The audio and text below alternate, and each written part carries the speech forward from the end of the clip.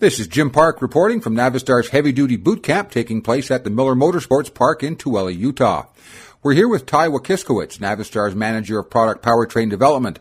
Ty is going to take us on a short walking tour of the air intake system of the new MaxxForce 15 engine installed in a ProStar chassis. Here we've got the fresh air and this is the EGR mix there. The reason for the intake throttle is to allow us to properly manage the mixture of EGR and fresh air to get exactly the precise mixture we want. So uh, this device is a very fast responding, fully electronic intake throttle control valve. And we then meter the amount of fresh air and EGR that's mixing. They come in and they mix in this housing, uh, which was actually developed with a lot of computational fluid dynamics to make sure that we get good mixing and good flow yet minimal restriction and then that's fed into the intake manifold. So the actual mixing takes place just downstream right, of this yeah, device? You see where this comes in here? Yeah, yeah, right in this large housing. Now that's a considerably larger diameter than we've seen on a lot of other mm-hmm. EGR intake pipes. Right. Why is it so big? Well, it's big because, first of all, it's it's a housing. You know, I'm sorry, a casting, a large casting.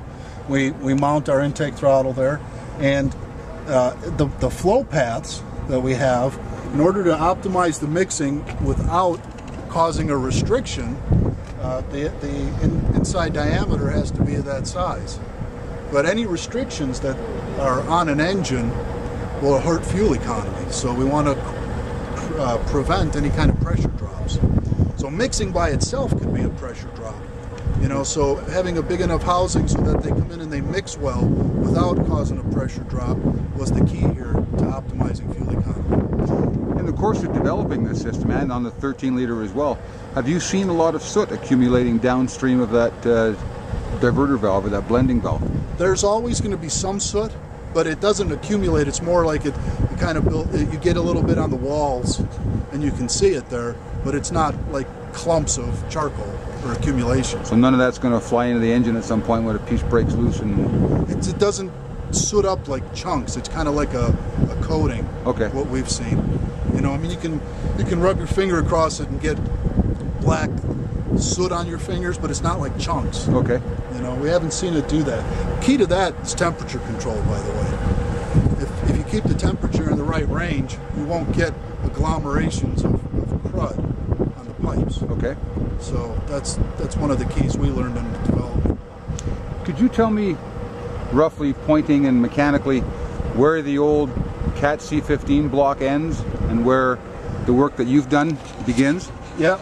Um, fundamentally, you know, you've got the cat, the cat block and head up here, and the part that's in black, if you can see that, that's Caterpillar block. Um, the spacer is blue. Okay, those are basically cat parts. And then what you see in aluminum is the top cover, and that's ours. Most of the changes that have been made by Navistar are internal. They're not in the crankcase itself. They're what goes into the crankcase. And of course, all the external plumbing, turbochargers and, and all that. If you needed a part for the block, could you go to a cat dealer and get a, a yellow bolt if you needed one? Can get yellow bolts, that's for sure. Okay. We've, we've reused as much as we could. Okay, Ty, thanks very much. All right, thank you.